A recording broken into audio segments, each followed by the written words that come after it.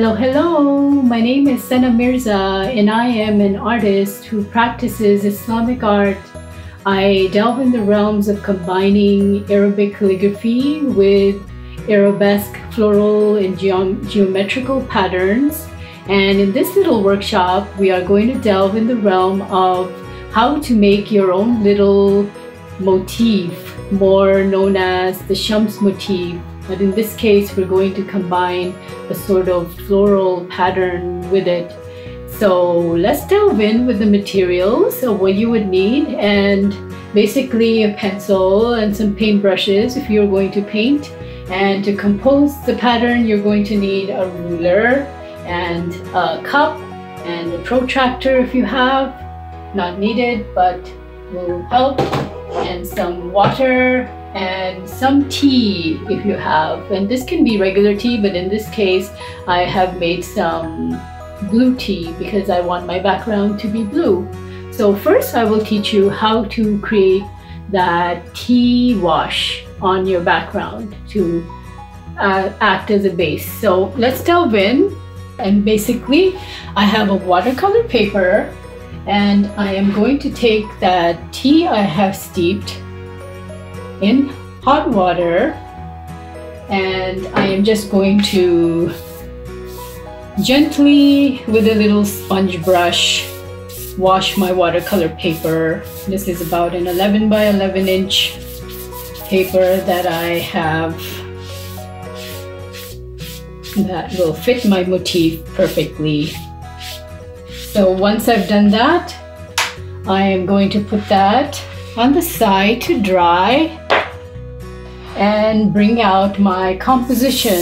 In this case, the little paper and a little tracing paper of what I'm going to compose. And pretty much what you want to do is fold your paper in half. In this case, like this. I've already done. And then you want to fold it second time like this and so you've created a sort of center here like this. And what you want to do first is create a little center in the middle with a cup. So you're just going to align your your your um, center like that and create a circle in the middle like this.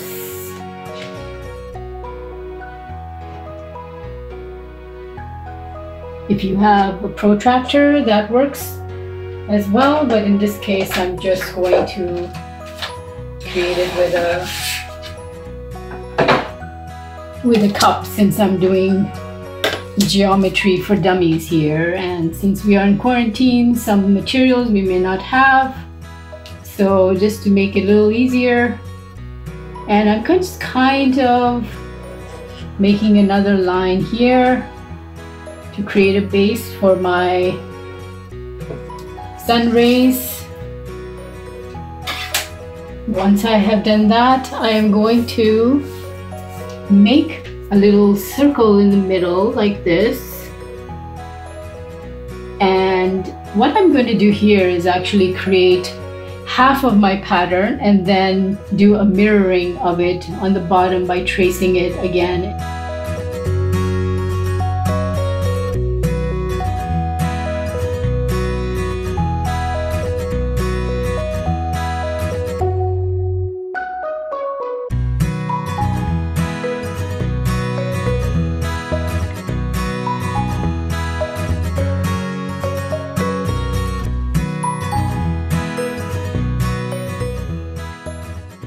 And what I can do is take my paper and fold it so it is mirroring that side again and I can retrace this on the other side like this very easily to keep my lines from being very exact. Once I have done that, here I would retrace that once I have done that, I'm going to fold the paper like this. and retrace the pattern on the other side, my marks with, with my already drawn marks. And pretty much what I will get is a really nice symmetrical pattern based on this mirror easy mirroring technique that I do quite often to create symmetrical patterns. Finish your little flower arabesque pattern in the middle, very much inspired by nature itself and the snowflakes and symmetry found in all of nature.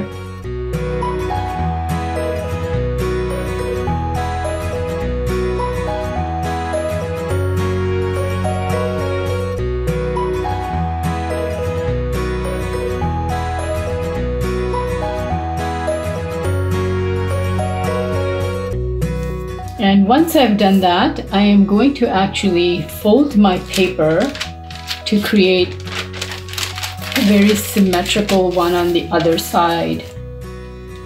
And my lines will trace right where I want them to without having to measure anything.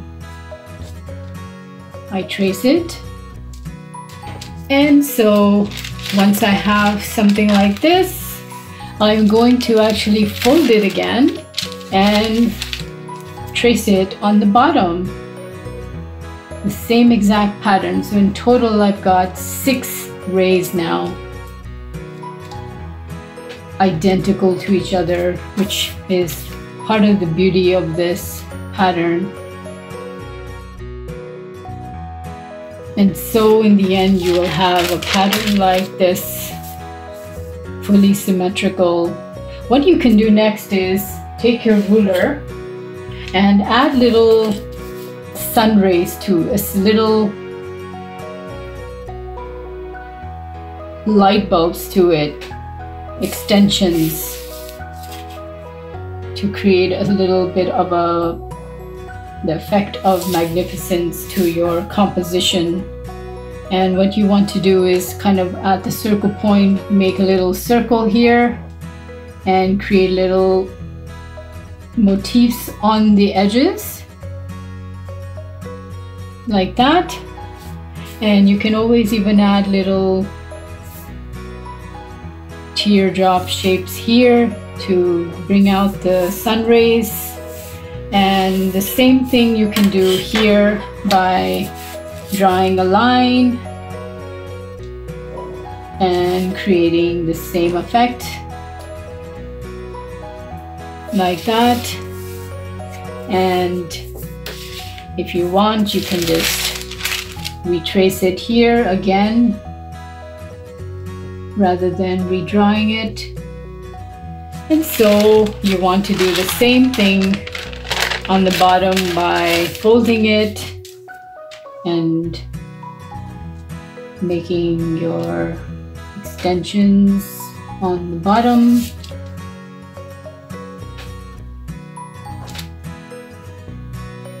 Like that. So that is done. I've created a little draft, a little layout of my pattern. And what I will do next is take that tea dye paper that is dry now, a little bit of a light bluish color, and I'm going to place it in the center of my paper. I'm going to take my tape and position it so it remains still while I'm tracing like this and what you want next is a carbon paper and you're going to face it down onto the paper and retrace your whole pattern like this. In this case, you can take you can take any sort of um, pen that you can see that where you can see that you have traced your lines I'm using a pen here to for added pressure and slowly just retrace the whole pattern onto your watercolor paper. Remain in the present moment. Allow yourself to absorb the beauty of the pattern that is transferring to your paper and enjoy this process. A lot of symmetry and repetition is involved in Islamic art, which makes it all so much more beautiful. Traditionally, the sun motif is called the Shams motif, very commonly found in many illuminated ancient pieces to represent the sun within you, the light within you. In this case, I have meshed it with a floral pattern to go with it to kind of express the flower, the blooming flower, the blooming light within in sort of abstract composition combining the flower and the sun together. As I'm doing this, my lines are actually transferring onto my watercolor paper like that. Look at that.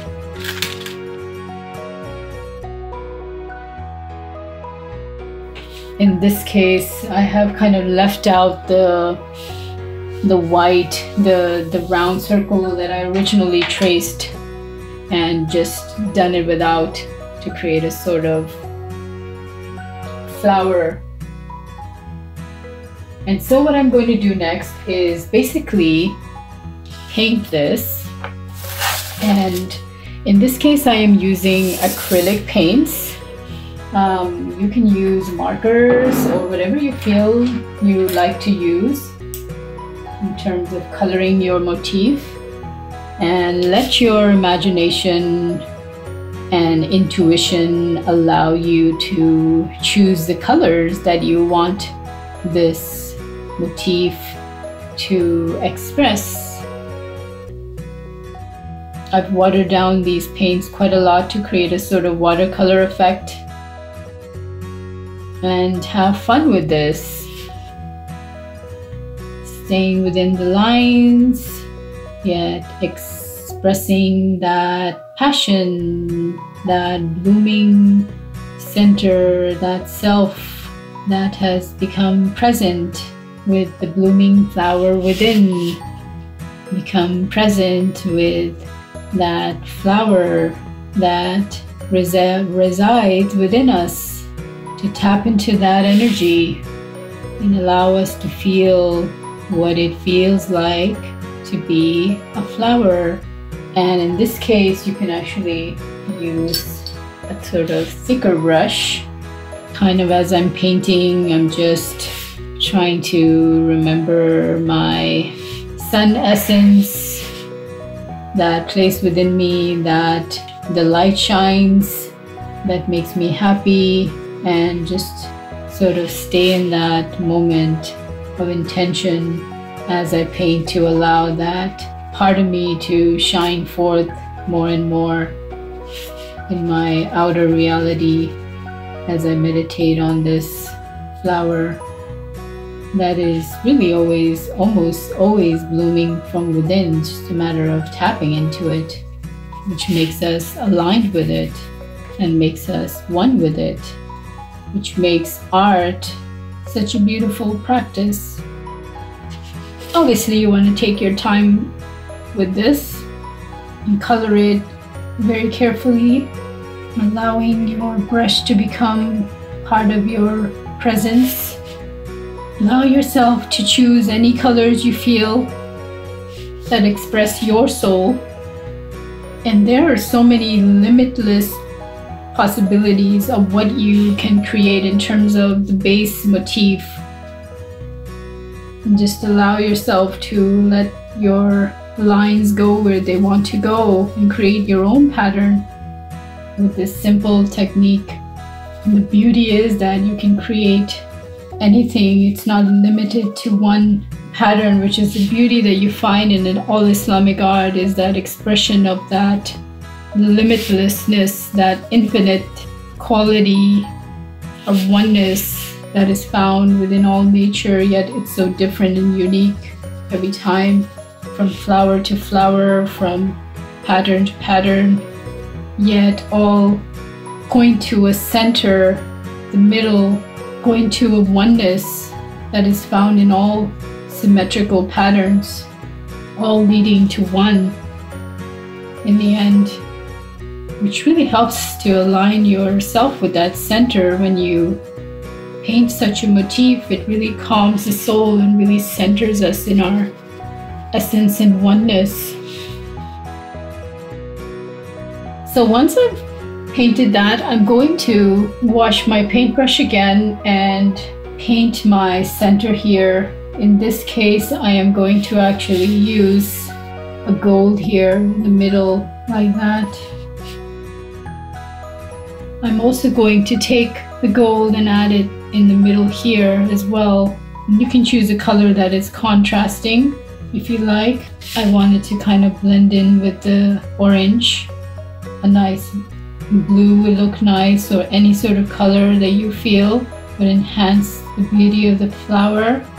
And just gently paint with the gold. The gold really adds a really nice richness to the painting. Very traditionally commonly found in all Islamic illumination. Kind of adds that majestic quality to the work and brings out that gold essence within you too when you use gold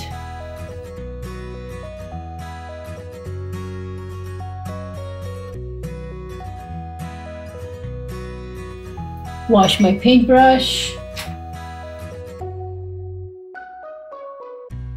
When you want to, what you want to do with these is kind of take your gold and any color you like. In this case, I will do gold, but another color is very commonly used for these extensions is dark blue. But in this case, I want it to match, so I'm going to keep it gold, very uniform to the actual flower. Meditate on that light within you to also extend outwards, moving it from the center of your core to outside of you in any way you can, in any beautiful way you can.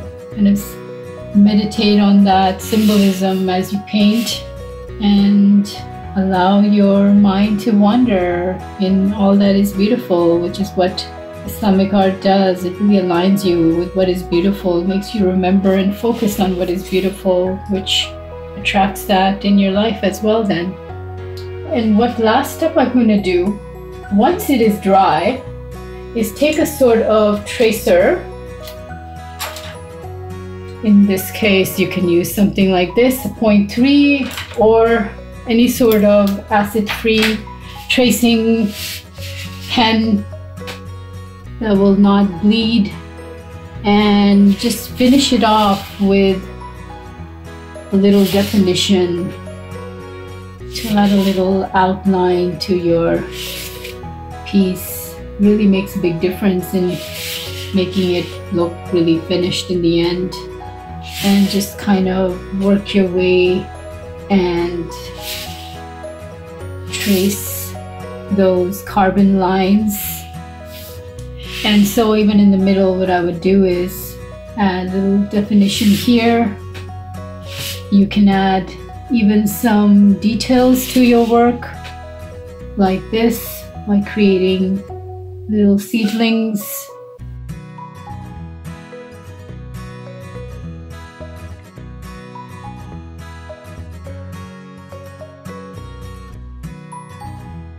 And you can do that even with um, with the leaves as well.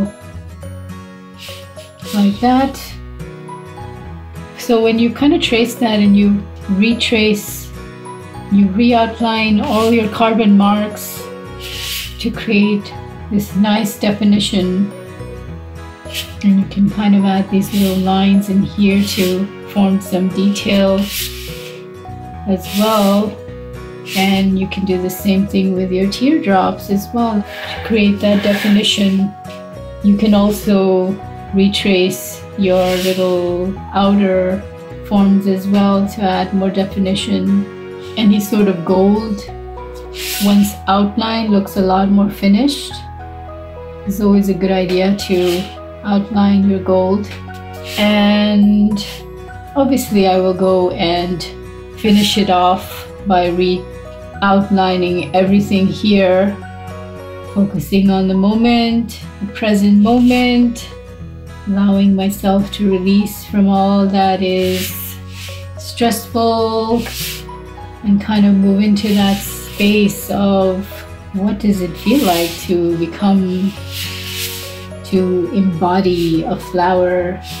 What are the characteristics of a flower and the sun that we could instill within ourselves to enhance that living quality within us that so desires to be expressed more and more as our mind learns to overcome the illusions of what is not real to tap into that beautiful aspect of our lives like a flower. And there you have it a very simple sort of technique of how you can make your own mandala and floral slash shams motif and you can elaborate as much as you want.